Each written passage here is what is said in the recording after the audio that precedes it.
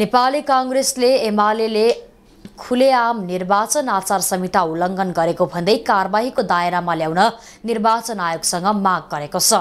सोमबार पार्टी कार्यालय सानेपामा पत्रकार सम्मेलन गर्दै काङ्ग्रेस प्रवक्ता डाक्टर प्रकाश शरण महतले खुलेआम प्रलोभन दिने एनजिओको व्यापक दुरुपयोग गर्ने जस्ता आचार संहिता विपरीतको काम एमाले गरेको भन्दै कारवाही गर्न माग गरेको बताएका छन्। गठबन्धनका साना कमजोरीलाई देख्ने आयोगले एमालेको आचार संहिता विपरीतको कामलाई देख्न नसकेको उनको भनाइरहेको छ। प्रवक्ता महले काङ्ग्रेसले संयमताका साथ आचार संहितालाई पालना गरिरहेको पनि दावी गरेका छन्।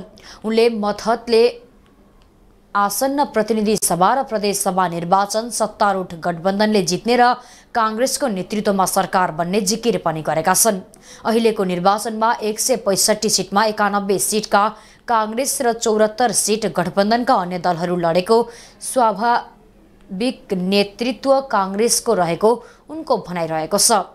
उनले निर्वाचनपछि प्रधानमन्त्रीमा काङ्ग्रेसका तर्फबाट शेरबहादुर देउवा हुने स्वाभाविक रहेको भन्दै अन्यले प्रधानमन्त्रीको दावी गर्नु प्रचार मात्रै भएको धारणा व्यक्त गरेका छन्।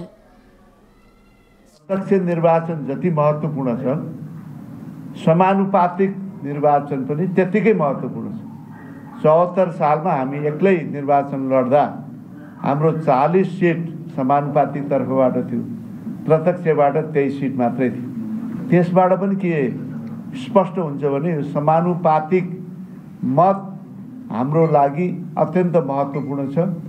अठहत्तर सिट हामीले लडेका छौँ। र एक सय बाहन्न होइन?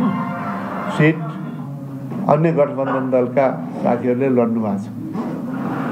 त्यसकारण नेतृत्वदायी भूमिका नेपाली काङ्ग्रेसको छ भन्ने कुरामा दुईमा छैन। मिलाएका छ। उहाँहरूलाई गर्नु होला जहाँसम्म प्रचण्डजीको सवाल छ उहाँको त आइसक्यो त इन्टरभ्यू। भएकाले सबै क्षेत्रमा कुनै दुविधा नगरी रुख चिन्हमा मतदान गर्न आह्वान समेत गरेका छन्।